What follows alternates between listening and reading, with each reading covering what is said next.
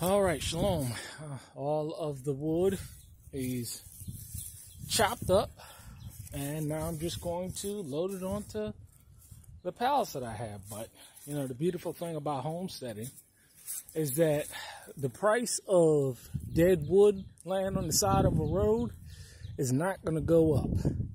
Uh, all you have to do is be willing to go ahead and put in the work. But the price of propane is going to continue to go up. Gas, of course.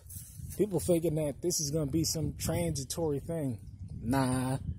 Get used to four, five, six, seven, eight, nine dollars a gallon gas because it is here. Uh, and those who are aware and prepared will uh, survive and thrive. Michael Ruppert, the collapse video, uh, the collapse movie, uh, and I suggest everybody watch it because what he is talking about in that movie that was made in 2006, 2007, no, I think it was like 2009, something like that. You got to look it up.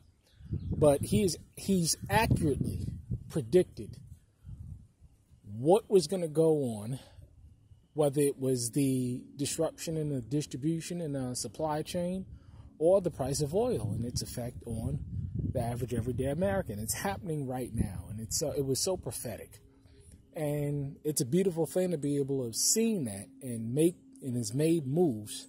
And uh, you know, a lot of people have made moves and are making moves uh, to preserve themselves, but the majority of the people, they're just gonna sit back and think that things are gonna be okay, but things are not gonna be okay. But this is how you go ahead and harvest some dead wood. Uh, most likely, I will not get to this this year. Um, it's getting cooler, uh, then going ahead and getting warmer. Uh, but I'll have it for next year. So it's a beautiful thing to have a good four years worth of supply of wood on the land now.